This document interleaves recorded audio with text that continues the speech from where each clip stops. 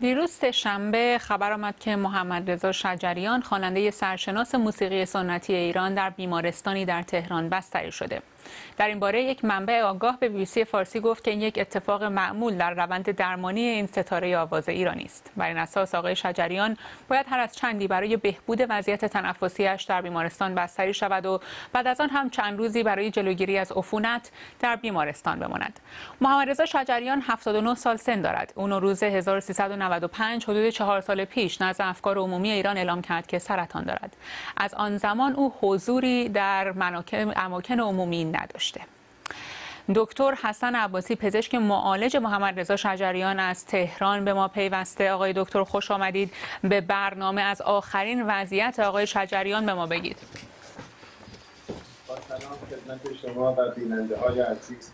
جناب استاد هر چند وقتی یه مدتی در بیمارستان تشریف میارن و ما در خدمتشون هستیم که کارهای پاراکلینیکی و آزمایش های لازم انجام بشه و این بار هم همینطور بوده تا حالا چند بار بستری شدن و شاید روزهای بیشتری هم در بیمارستان بودن و متاسفانه این بار یک خورده سر و صدا زیاد شد و شایعات بیشتر از اونچه که هست بود. و طبق معمول خوابیدن برای یک کنترل و البته خب مشکلات جزئی در تنفس و غیره بود که خیلی راحت کنترل شده است و به احتمال زیاد تا فردا ایشون مرخص خواهند شد.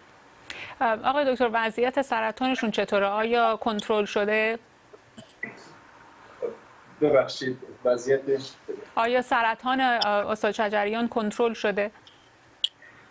سرطان دیگر سرطان ما درمان شده از قبل و این عوارضی که ما الان رو به رو هستیم به علت عوارض رادیوتراپی هست که در مغز ایشان انجام شده.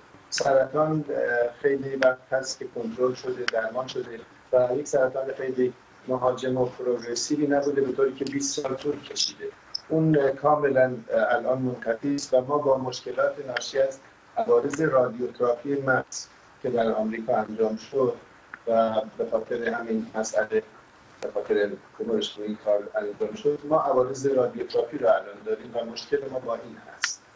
در آخرین تصاویری که از استاد چجریان منتشر شد به نظر می اومد که ضعیف هستند. الان وضعیتشون چطوره؟ آیا از, از اون ضعف بیرون اومدن؟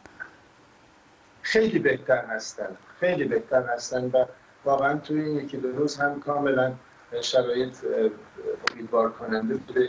به طوری که عرض می‌کنم تا فردا قرار هست که ایشان خونه برگردن و با دیگه مراقبت خونه انجام آیا فکر می‌کنید شرایطشون جوری هستش که بتونیم در اماکن عمومی ببینیمشون به زودی؟